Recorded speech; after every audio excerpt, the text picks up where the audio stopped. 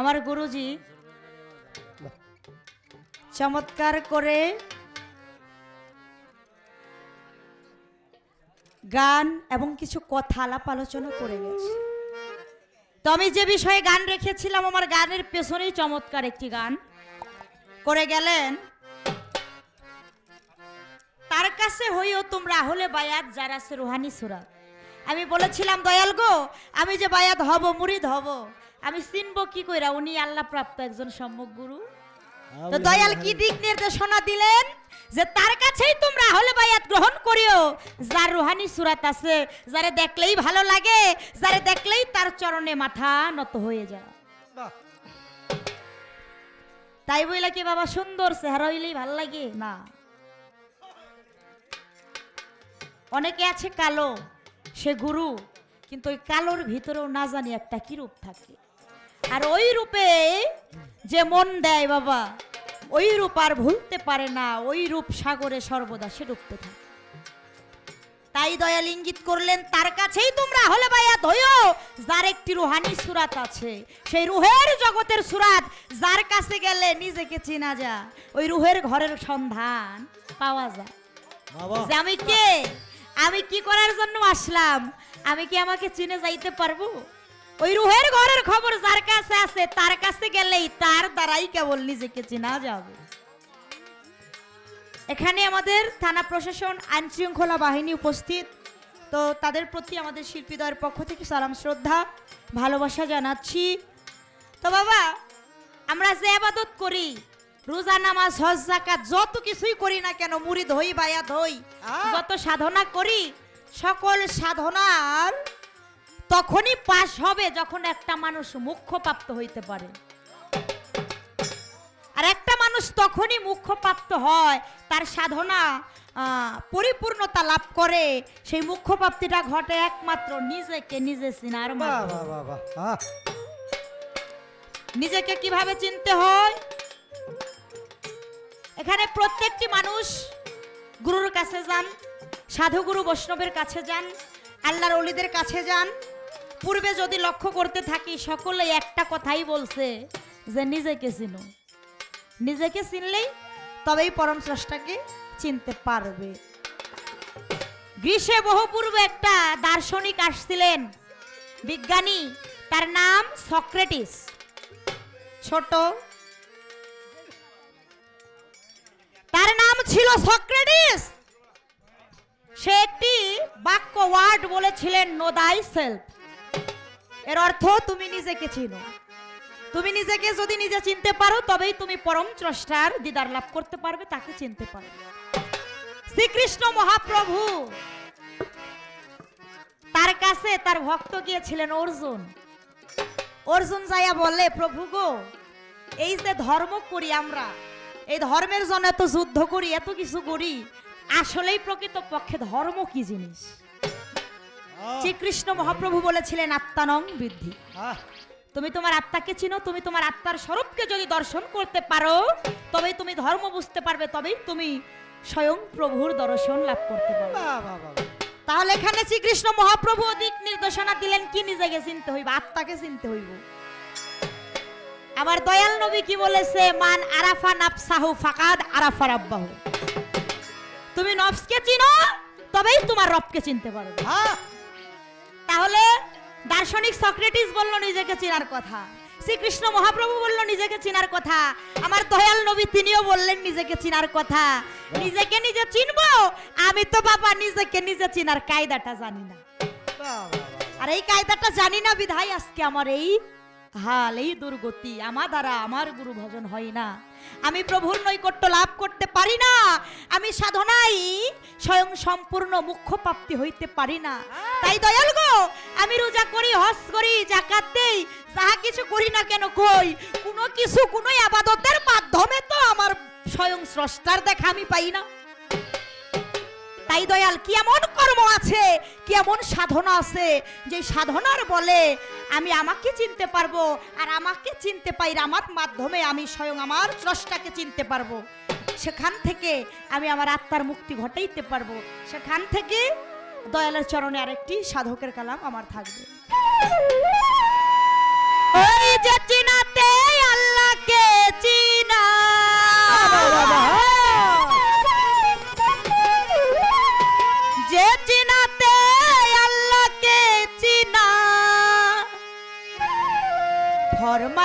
নবীর হাদিছে।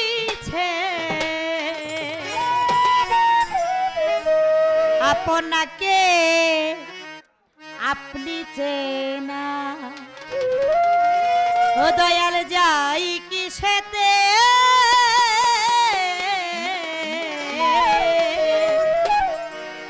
আপনাকে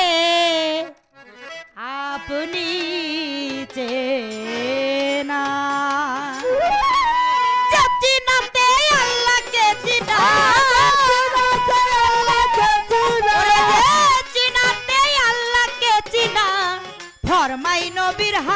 রে ফরমাই নবীর হাদিসে আপনাকে আপনি চেনা যাই কি সাথে।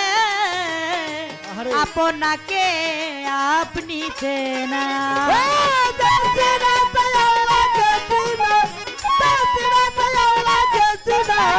ফরমাই নবীর হাদিসে গো ফরমাই নবীর হাদিসে আপনাকে তাই কি সত্য আপনাকে আপনি চেনা ও দয়াল, রোজা কিংবা নামাজ পড়া কলমা কি হক জাকাত দেওয়া জাকির বাদামাত পড়া বাকি ওহাকাত করা ওরে রোজা কিংবা নামাজ পড়া কলমা কি হক জাকাত দেওয়া তাম্বি ভারী পান যে গানা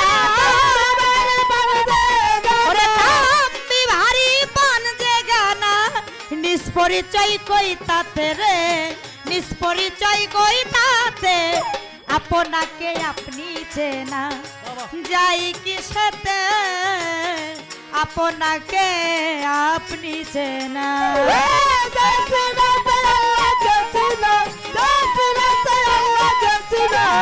ফরমানবী হাদিস গো হাদিস আপনাকে আপনি চেনা। যাই কি সাথে আপনাকে আপনি চেনা কাবাতে নিয়ত নিরপন দয়াল রে আপন কাবার নাই অন্বেষণ।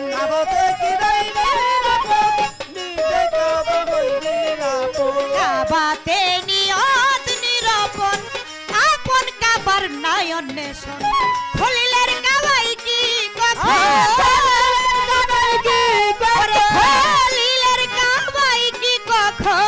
আল্লাহকে পাই দেখিতে রে আল্লাহ, আমার আল্লাহ। আবার আল্লাহকে পাই দেখিতে আপনাকে আপনি চেনা যাই কি আপনাকে আপনি চেনা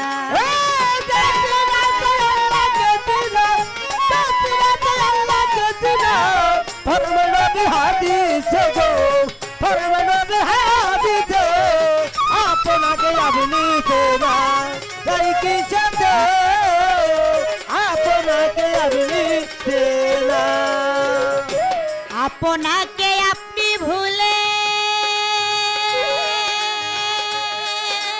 ভুলে ভুলে আপনাকে আপনি ভুলে পশ্চিম তরফ খাড়া হয়ে। আপনাকে আপনি পশ্চিম তরফ ছাড়া হয়ে। আপনাকে আপনি ভুলে পশ্চিম তরফ খাড়া হয়ে।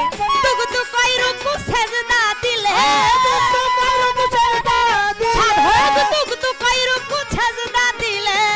খুদার দিদার কই তাতে রে খুদার? আমার খুদার।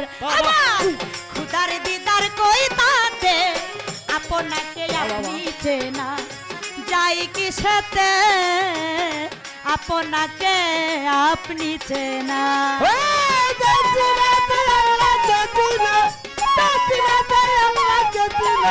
ফরমানবীর হাদিস গো ফরমানবীর হাদিস আপনাকে আপনি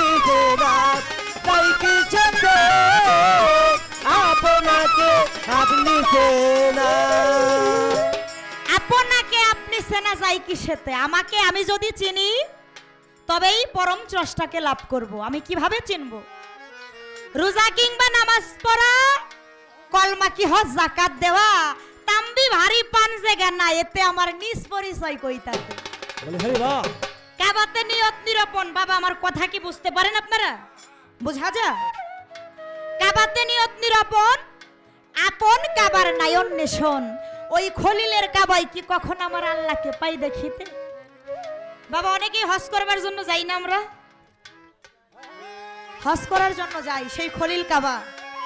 মক্কা নগরীতে। কই? ওই খলিল কাবাই হজ করে একটা দিনের জন্য আমি তো আমার আল্লাহর দিদার লাভ করতে পারলাম না। তাহলে আমার আপন কামাই কীভাবে আমি আমার সেই দিনও বন্ধু আল্লাহকে লাভ করব? সেই কায়দাটা দয়াল একটু বলে দিন। আপনাকে আপনি বলে ওই পশ্চিম তরফ খাড়া হয়ে সাধক, দুগ্ধ কই রুকু সেজদা দিলে আমার খুদার দিদার কইতাতে আমি আমাকে ভুইলা ওই পশ্চিম দিকে যখন যাই নামাজ বিছায়া, আমি সেজদাই মোহিত হই। কই? আমার ওই যাই নামাজের সামনে তো আমার খোদার দিদার পাই না। আমি রুকু সেজদা যাহাই করি একটা পরের জন্য একটা দিনের জন্য একটা ক্ষণের জন্য আমি আমার মাওলার দিদার পাই না। তাই কোন জায়গায় সেজদা দিলে কোথায় রুকু করলে কোথায় আমি বন্দেগি করলে আমার পরম বন্ধুর দর্শন পাবো? আমার মধ্যে থেকে আমি আমাকে চিনি আমার। বন্ধুকে চিনতে পারব। সেখান থেকে কিছু কথা দয়াল কৃপা করে গোস্পদান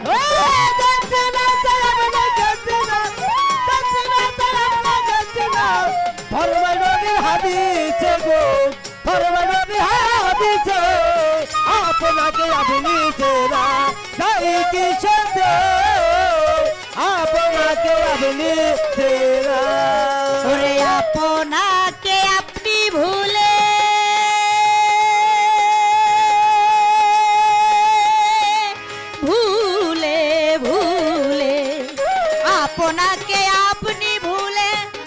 পশ্চিম তরফ খাড়া হয়ে। আপনাকে আপনিতে পশ্চিম তরফ খারাপ হয়ে।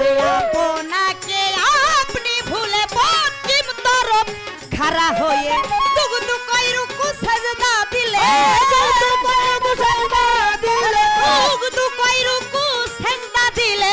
খুদার দিদার কই তাতে রে খুদার? আমার খুদার আমার খুদার দিদার কই তাতে আপনাকে আপনি চেনা, যাই কি সাথে, আপনাকে আপনি চেনা।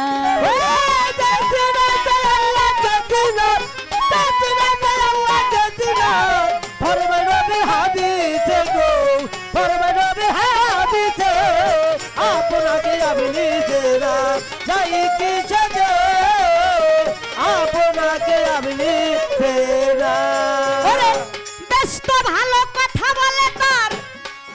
ভুলি নাই।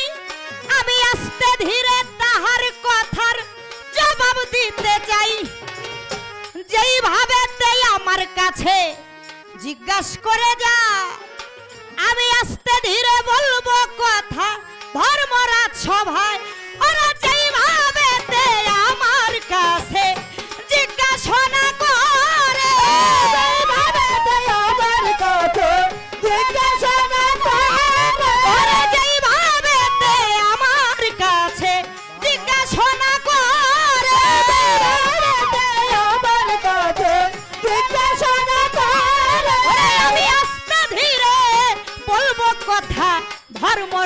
সরে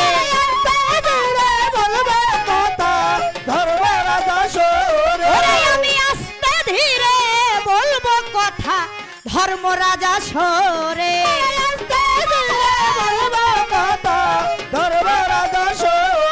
আমি বাকি কিছু রাখব না। বাকি কিছু রাখব আমি করব কথার বর্ণনা, বাকি কিছু রাখব না।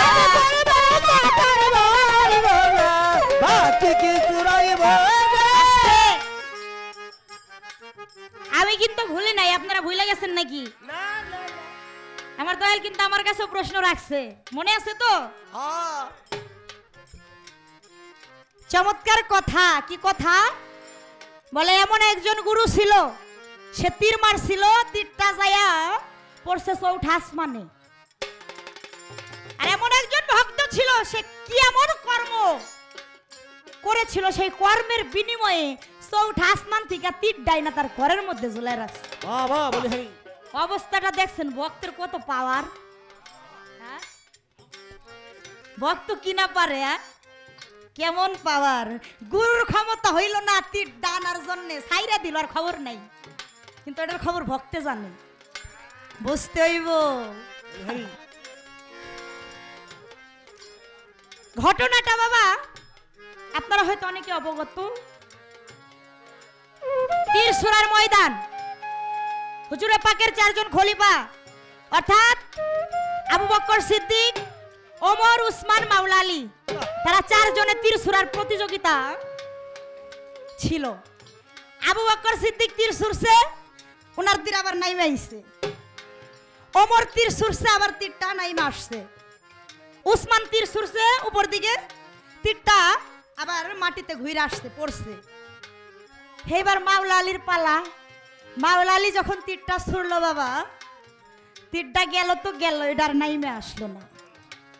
তীরটা যাইতে যাইতে এমন জায়গায় গেছে, চৌঠাস মানে যাই আটকে আছে। মাওলা আলীর তীর তো আর নামে না। মাওলা আলী যখন ওই তীর ময়দান থেকে গৃহে যায় সেই ফাতেমাত তো জহুরা জগতের মা আমার আল্লাহ যাকে নিজে মা ডাকছে।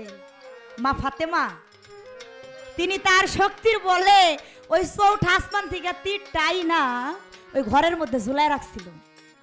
মাওলালি যখন মা ফাতেমার গৃহে যা তখন দেখে ওই যে তীরটা মাউলালি চৌঠা আসমানে মেরেছিলেন, আর সেই তীরটা মা ফাতেমাই না, তার ঘরের মধ্যে ঝুলাই রাখছে। তখন ওই তীরখানা মা ফাতেমা হাতে নিয়ে মাওলালিকে দেয় এই নাও তোমার তীর। বাবা বাবা। তাহলে বিষয়টা কি বাবা দেখছেন? কারণ, যিনি আদ্যা শক্তি অর্জনকারী, জগতের মামা ফাতেমা, সেই আদ্যা শক্তি অর্জনকারী, তার শক্তির বলে চৌঠা আসমান থেকে তীর আইনা ঘরে ঝুলাই রাখছিল। মাওলালি আসে, তার হাতে দেয়। তখন মাওলালি বলেছিল, ফাতেমা আমি তীর শুনলাম তীরের খবর আমি টের পাইলাম না। তীর চৌঠা আসমানে গেছিল কিন্তু তুমি সেই তীর কীভাবে সংগ্রহ করলে?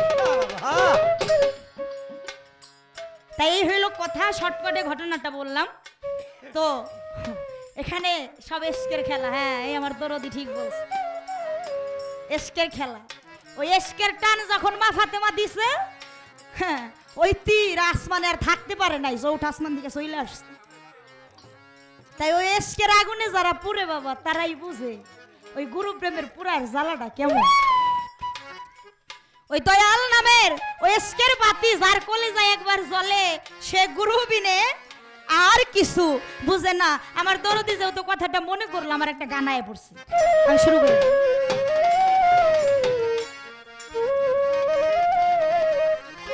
ওরে সেই বাতি যা লাইয়া রে বাজান দেখব আমি তোমারে। সেই বান্ধব দেখব আমি! তোমারে। এসকের বাতি। এসকের বাতি জ্বালাইয়া দে দয়াল আমার অন্তরে। একটা ভক্তের হৃদয়ে যদি এসকের বাতি জ্বলে উঠে সে ত্রিজগৎ জুড়া যেখানেই যাক তার গুরু মন্ত্র বিনে গুরু নাম বিনে সে দুই চোখে কিছুই দেখে না। তাই প্রত্যেকটা ভক্ত গুরুর দরবারে যায় বাবা সবার কাল্প কিন্তু জিন্দা না। যার কাল্প জিন্দা, যার এসকোটা জিন্দা, সেই কেবল ওই গুরুর ভাব সাগরে ডুইবা। ওই যে দয়াল বলছে না, যে গুরুর ওই ভাব সাগরে ডুইবা, ওই রূপ সাগরে ডুব দাও। সেই কেবল ওই রূপ সাগরে ডুব দিতে পারে। আর কিছু আছে? হ্যাঁ ওই যুগে যুগে মুড়ি দয় যাওয়ার আশাই সার মানে হুদাই। ওর দ্বারা কোনো করণ কারণ কিছুই হয় না। তাই যে ওই দয়াল স্কোর বাতি জ্বালাইতে পারছে তার বাবা। ভয় নাই। তাই দয়ালু যদি কৃপা করে ভক্তকে দান করে তার এই জগতে আর ভয় থাকে না। ওরে সেই বাতি যা লাইয়া রে বাজান দেখব আমি তোমারে। সেই বাতি দাঁড়াইয়া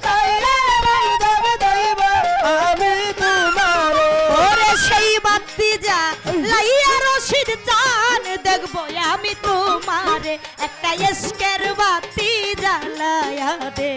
দয়াল চান আমার অন্তরে একটা নুরের বাতি জ্বালায়া দে। চৈতন বাবা আমার অন্তরে। বাতিটা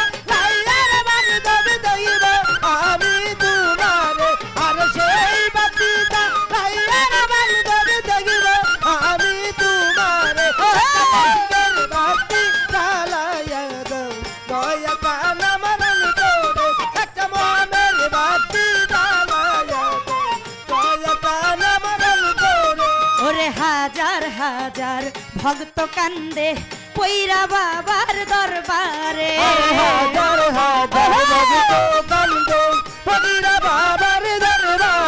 ওরে হাজার হাজার ভক্ত কান্দে পৈরা বাবার দরবারে।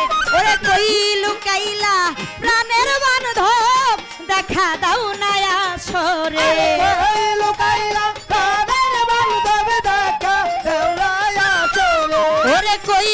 লুকাইলা চৈতন্য বাবা, দেখা দাও নায়া সরে, একটা এস্কের বাতি জ্বালায়া দে। রশিদ চান আমার অন্তরে, একটা নুহুরের বাতি জ্বালায়া দে। দয়াল চান আমার অন্তরে। আমি তোমারে।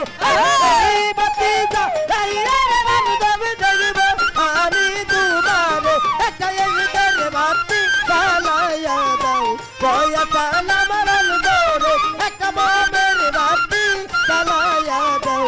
মুন্সি কালা মরণ দৌড়ে। ওরে পাপি মুখে গাইতেছি গান কয়ুব চান্দের দরবারে।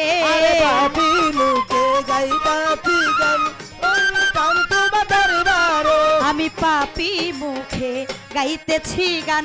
চৈতন্য বাবার দরবারে ওরে আহি বানি আই। বাহানি বাবা অভাগী নির্বাসরে।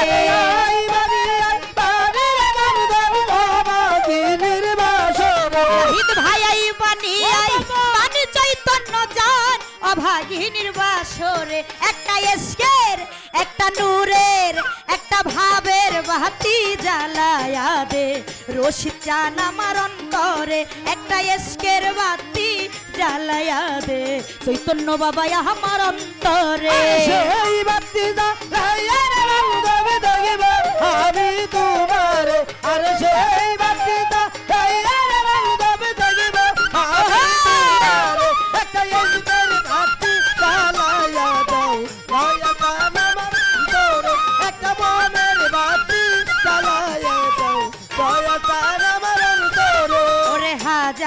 হাজার ভক্ত কান্দে পৈরা বাবার দরবারে। হাজার হাজার ভক্ত কান্দে হইরা বাবার দরবারে। ব্যাপারী হাজার হাজার ভক্ত কান্দে পৈরা বাবার দরবারে। ওরে কই লুকাইলা প্রাণের জয়তন চান দেখা দাও নায়া সরে আরে কই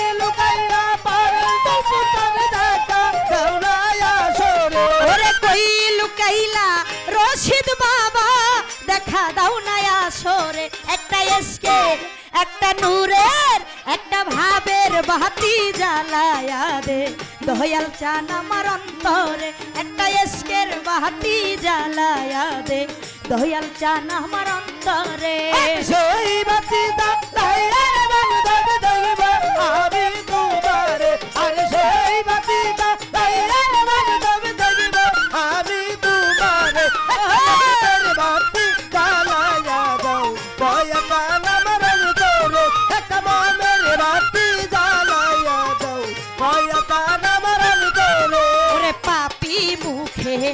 গাইতেছি গান পৈরা বাবার দরবারে।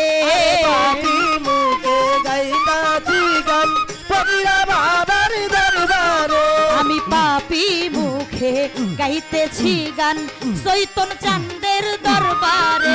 ওরে আই বানি আই বানি বাজান অভাগী নির্বাসরে।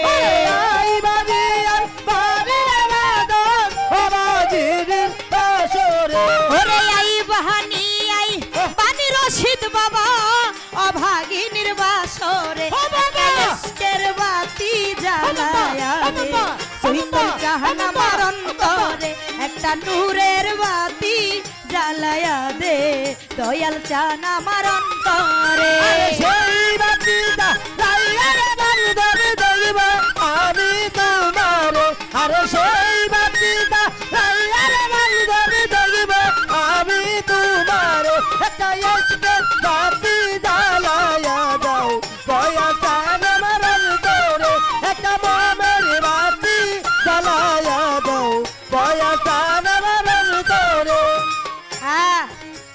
এসকের বাতি জ্বালাইয়া দাও দয়াল আমার অন্তরে। এই জগতে যে ভক্ত যে যার দয়ালকে ভালোবাসে রে, সেই